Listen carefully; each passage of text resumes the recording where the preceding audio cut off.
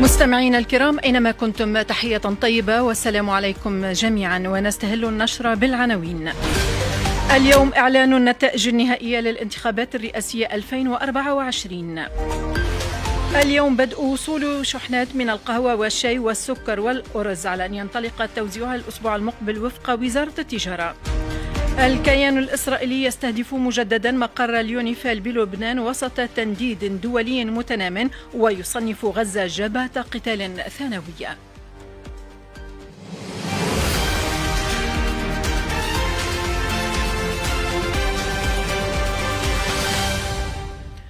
تحية طيبة. تعلن الهيئة المستقلة للانتخابات مساء اليوم النتائج النهائية للانتخابات الرئاسية لسنة 2024 وانقضت أمس فترة الطعون في النتائج الأولية لهذه الانتخابات التي فاز بها المترشح قيس سعيد بنسبة 90.69% دون تلقي أي طعن. نقص فادح في بعض المواد الاستهلاكية على غرار مادة القهوة. لمسنا خلال جولة في بعض المحلات التجارية والدكاكين بالعاصمة. وتذمر منه بعض المواطنين في ميكروفون الزميلة مريم الغربي. هو راهي مش متوفرة surtout اللي يجي فيها ديوان التجاره راهي مش متوفرة. فاللي مفروض عليك تمشي في les points de vente باش تشريها غاليه ولا ما تشريش خلاص. بالنسبة للدجاج كيف كيف ما فماش دجاج. تمشي الصباح بكري تلقى حتى عند الدجاج في الحومة تمشي الصباح بكري تفوت ل 11 ما عادش تلقى. السميد كالعاده ما رجعش الحليب نحونا الباكو الازرق وجابونا باكو اصفر ب 2000 واش وقال لك هاوينو معناها ما متوفر بكميات قليلة برشا.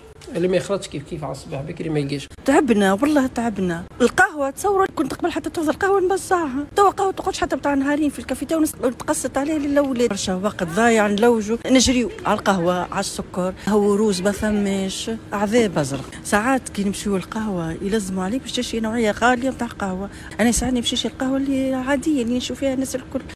السكر ما فماش الحشيشة ما فماش الزيت صبه ما فماش الدجاج الغلاء القهوة ما فماش دور برشا ويجحدوها ما فماش. القهوة ماهيش متوفرة. وإذا كانت توفر اليوم تلقاها غدا ما تلقاهاش. إذا كانت توفرت لازمك تشد عليها صف رهيب وعندك كمية محدودة ومحدودة جدا باش تاخذها. المدير العام المساعد بالديوان التونسي للتجارة سامي بوعزيز أقر بوجود هذا النقص خاصة في القهوة والشاي والسكر والأرز إلا أنه أكد أن شحنات من هذه المواد ستصل ابتداء من اليوم وتوزع الأسبوع المقبل في كامل ولايات الجمهورية. الشاي ومادة القهوة ومادة الأرز. الكميات هذوما موجودين. صحيح سجلنا نقص اللي هو خارج عن نطاق الديوان اللي هو مشكل لوجستي بحت. عندنا كميات مشحونة في البواخر تقريبا ثم في حدود 400 حاوية تم شحنها. وتصل إن شاء الله ابتداء من يوم 11 أكتوبر. عندنا كميات مش توصل بالنسبة لماده الشاي ثم تقريبا في حدود 500 طن. تصل ابتداء من 11 اكتوبر بالنسبة لماده القهوه ان شاء الله يوم الأحد توصل الكميات هذه وتباعا ثم تقريبا 3000 طن تصل من هنا لآخر لشهر نوفمبر. ويقع توزيعها ابتداء من الأسبوع المقبل إن شاء الله. بالنسبة لماده السكر عندنا الكميات موجودة وتكفي للتوزيع من هنا لآخر شهر نوفمبر. مع العلم له ثم كميات أخرى بسبب الشحن وتوصل تقريبا أول أسبوع نتاع شهر نوفمبر يعني من هنا لآخر السنة عن الكميات اللازمة بالنسبة لماده السكر. صادق مجلس الوزراء أمس على تنقيح القانون عدد 54 المتعلق بقانون المالية التكميلي لسنة 2024 14 وذلك بإلغاء الفصل السادس عشر الذي يجرم مسك المبالغ النقدية التي تساوي أو تفوق خمسة ألف دينار. الخبير الاقتصادي بسام النيفر أكد أهمية إلغاء هذا الفصل لتسهيل المعاملات لعدد من الفئات منهم صغار الفلاحين والتجار والحرفيين لافتا إلى ضرورة دعم هذه الخطوة بإجراءات أخرى لضمان عدم التهرب الضريبي وتبييض الأموال. حتى برشا خدمات لأنه من الناحيه العملية نعرفوا مليح اللي خاصة بالنسبة للفلاحة بالنسبة للجزار اللي هما كل نهار يتوجهوا للأسواق الصباح مضطرين اللي يهزوا معهم مبالغ مالية كبيرة تتجاوز 5000 دينار واللي مش باش يكون عنده بالطبيعة منين هو جايبها. في المقابل السلطات الأمنية والديوانية طبق في القانون وهون جاء الإشكاليات اللي تشكاو منها برشا صغار الفلاحين وبعض الحرف. فالفصل هذا مش ينحي نهائيا الإشكال هذا. في نفس الوقت القانون هذا جاء في إطار مقاومة تبييض الأموال التهرب الجبائي. ففي المنطقة إنه ربما يتم اتخاذ قرارات أخرى في وقت لاحق. وربما انه قانون جديد الشيكات اللي هو جاب لنا اليوم منصة اللي تنجم تتعامل بها وتكون متأكد ان الفلوس موجودة تنجم تكون وسيلة تم استعمال نتفاداو المشاكل اللي إحنا فيها اليوم واللي تنحى في قانون هذا مع السر المفعول وفي نفس الوقت نضمن انه المعاملات تتعدى في البنوك واللي بالطبيعه تساهم باش الناس الكل تاخذ حقها المتعاملين الاقتصاديين والدولة عن طريق الجبال. وعبر الناطق الرسمي والمستشار الاقتصادي بالاتحاد التونسي للفلاحة والصيد البحري فتحي بن خليفة عن استبشار الفلاحين بإلغاء هذا الفصل فضلا عن ترحيبهم بإقرار تعويض الأضرار الفلاحية الناجمة عن الجوائح الطبيعية.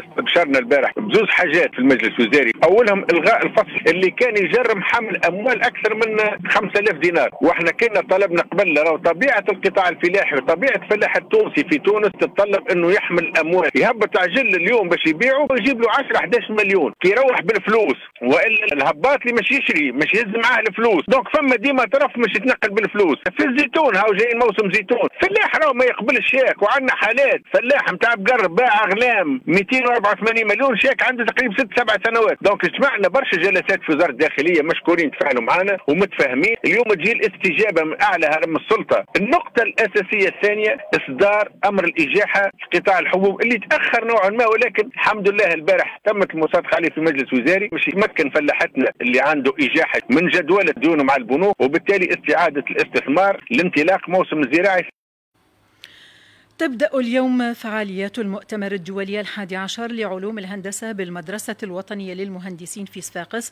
لتستمر ثلاثة أيام. يهدف المؤتمر وفق رئيسه الأستاذ زياد إدريس إلى تبادل المستجدات العلمية في العلوم الهندسية بين الطلبة والباحثين والصناعيين من بلدان مختلفة. يهدف المؤتمر هذايا تبادل آخر المستجدات العلمية في علوم الهندسة بين طلبة باحثين وأساتذة وصناعيين. اللي هو ثمرة للعديد من الأعمال اللي وقع إنجازها خلال الفترة الأخيرة. من خلال شراكة فعلية مع العديد من المكونات البحثية والصناعية داخل وخارج البلاد. شراكة تونسية الجزائريه مع عدة جامعات. باش يكون معنا اونلاين زملاء من جامعة نوتنغهام من بريطانيا جامعة شناي من الهند آه، جامعة بالير زملاء من جامعة باريس. سيتخلل هذا الموعد تكريم العديد من الزملاء اللي أحيلوا على شرف المهنة.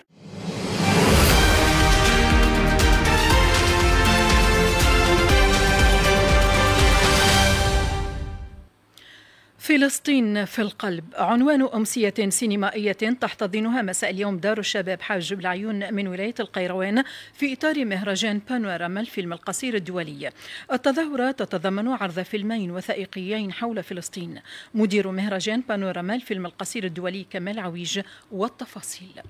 اليوم سوف نعرض فيلمين قصيرين فلسطينيين. الفيلم وثائقي قصير بعنوان 120 كيلومتر لمخرج وسيم خير والفيلم روائي قصير بعنوان ثلاث أيام لا تكفي لمخرج محمود أبو شمسية وسائر متولي يتخلله النقاش ومداخله في شباب حاسب عيون هذه امسيه ستكون بشراكة مع دار شباب حاسب عيون ومهرجان بانوراما فيلم قصير دولي وفي تطورات الأوضاع في الأراضي الفلسطينية المحتلة أعلنت وزارة الصحة في قطاع غزة ارتكاب الاحتلال الإسرائيلي أربع مجازر في القطاع خلال الأربع والعشرين ساعة الأخيرة وصل منها للمستشفيات 61 شهيدا و231 مصابا. آخر مستجدات الوضع الميداني في متابعة لياسين الفوغالي. كثفت قوات الاحتلال الإسرائيلي غارتها على مناطق متفرقة من قطاع غزة بينها مخيم أنسيرات وجباليا ومدينة خان يونس. في وقت يستمر فيه حصار شمال القطاع لليوم السادس ووسط استهداف متواصل لطيران المروحي للاحتلال. المناطق الشمالية الشرقية لمخيم البريج وأنصيرات وسط القطاع. من جهتها أعلنت كتائب عز الدين القسام أن مقاوميها دمروا ناقلة جند لجيش الاحتلال الإسرائيلي. وأوقعوا طاقمها بين قتيل وجريح غرب مدينة بيت لاهيا الشمالي قطاع غزة. وفي الأثناء أفادت وسائل أعلام عبريتنا اليوم أن الجيش الإسرائيلي أصدر تصنيفا رسميا بأن غزة أصبحت ساحة قتال ثانوية وذلك لأول مرة منذ السابع من أكتوبر الماضي مع الإبقاء على الفرقة الأمامية النظامية للقيادة الجنوبية للإغارة على جباليا شمال القطاع لفترة متوقعة قد تمتد بضعة أسابيع. الطبيعه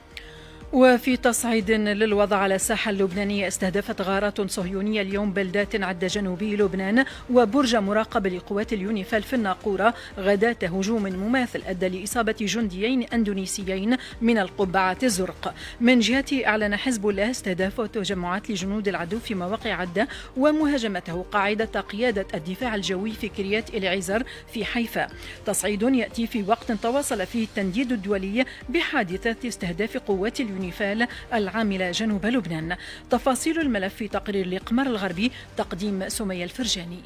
أعلنت وزارة الصحة اللبنانية في حصيلة غير نهائية استشهاد 22 شخصا وإصابة أكثر من 100 آخرين في غارتين إسرائيليتين طالتا مساء أمس حيين سكنيين مكتظين في قلب العاصمة بيروت وتسببتا في دمار واسع. وكشفت مصادر في حزب الله أن وفيق صفا مسؤول التنسيق والارتباط في الحزب وأحد الشخصيات المحورية في إدارة العلاقات السياسية والخارجية والأمنية فيه نجا من الغارة الإسرائيلية على منطقة نويري في بيروت. واستهدفت غارات صهيونية اليوم بلدات بقضاء صور جنوب لبنان وكذلك برج مراقبة لقوات اليونيفيل في الناقورة. من جهته أعلن حزب الله استهدافه بالصواريخ تجمعات لجنود العدو الإسرائيلي في منطقة زفولون شمال مدينة حيفا وفي ثكنة يفتاح ومحيطها وكذلك في مستعمرة كفر سولد كما أعلن أعلن استهدافه تجهيزات فنية في موقع العباد وتحقيق إصابة مباشرة فيه ومهاجمته بالمسيرات الانقضاضية قاعدة قيادة الدفاع الجوي في كريات إليعيزر في حيفا. وقالت مصادر صحفية عبرية إن إسرائيليا قتل وأصيب آخر بجروح خطيرة نتيجة صاروخ مضاد للدروع أطلق باتجاه منطقة يرؤون في الجليل الأعلى مؤكدة رصد إطلاق 30 صاروخا من لبنان باتجاه الجليل الأعلى. على الصعيد السياسي شدد رئيس الوزراء اللبناني نجيب ميقاتي اليوم على أن سلامة لبنان وأمنه أولوية مطلقة مطالبا بوقف فوري لإطلاق النار وضرورة إلزام العدو الإسرائيلي بالقرار الأممي 1701 من جهتها أدانت الخارجية اللبنانية الاستهداف الإسرائيلي المتعمد لقوات اليونيفيل مطالبة مجلس الأمن والمجتمع الدولي بالتحقيق فيها واتخاذ موقف حازم. وقد أدان الأمين العام للأمم المتحدة أنطونيو غوتيريش خلال قمة دول جنوب شرق آسيا في لاوس حادث إطلاق النار على قوات اليونيفيل واعتبره عملا غير مقبول وانتهاكا للقانون الإنساني الدولي ويجب أن لا يتكرر. كما اعتبر المجلس الأوروبي استهداف القوة الدولية في جنوب لبنان عملا غير مقبول فيما أعربت روسيا والصين والنرويج وأستراليا عن إدانتهم للحادثة وطالبوا بإجراء تحقيق فيها ومحاسبة المسؤولين عنها واتخاذ إجراءات لمنع تكرارها. ويمثل قصف جيش الاحتلال لأحد أبراج المراقبة التابعة لقوات حفظ السلام الأممية في لبنان يونيفيل وإصابة عدد من أفرادها انتهاكا صارخا للأمم المتحدة. له أبعاد خطيرة في سياق الحرب الشاملة على الجبهة اللبنانية والشرق الأوسط. تقرير ناجي بن جنت في تطور خطير يعكس استهتار الكيان الصهيوني بالمواثيق الأممية والعالم بأسره قام جيش الاحتلال بقصف أحد أبراج المراقبة التابعة لقوات حفظ السلام الأممية في لبنان اليونيفيل في بلدة الناقورة التي تضم مركز قيادة هذه البعثة مسفرا عن إصابة عدد من أفرادها في أوضح صورة عن القوة الصهيونية الغاشمة.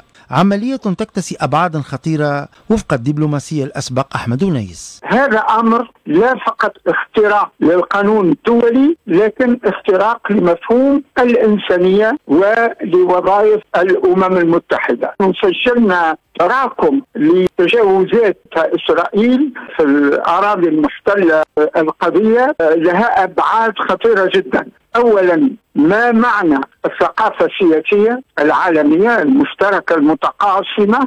ثاني شيء المنظومة الدولية عاجزة منذ 12 شهر عن تناول قضية الحرب الإسرائيلية المدمرة ضد المدنيين. صدقت إذا تحذيرات قوات حفظ السلام التابعة للأمم المتحدة في لبنان حين نبهت أكثر من مرة من تزايد أنشطة جيش الاحتلال الإسرائيلي قرب مواقع البعثة الأممية. وهو ما يقتضي من الأمم المتحدة التحرك بقوة ومسؤولية لوضع حد لهذا العدوان الصهيوني الخارج عن كل القوانين والمواثيق. وفي بقية أخبارنا العالمية توقع محللون في الولايات المتحدة أن تصل خسائر شركات التأمين الناتجة عن إعصار ميلتون الذي وصل إلى سواحل فلوريدا إلى 100 مليار دولار. ووصل الإعصار إلى اليابسة خلال 48 ساعة الماضية بمستوى خطر من الدرجة الثالثة.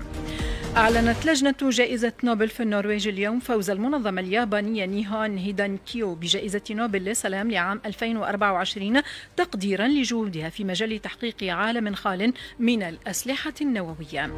بهذا وصلنا مستمعينا الكرام إلى ختام نشرة الظهر للأخبار. قدمتها إلى حضراتكم من إذاعة الجمهورية التونسية قمر الغربي وهذا تذكير بالعناوين. اليوم إعلان النتائج النهائية للانتخابات الرئاسية 2024 اليوم بدء وصول شحنات من القهوة والشاي والسكر والأرز على أن ينطلق توزيعها الأسبوع المقبل وفق وزارة التجارة.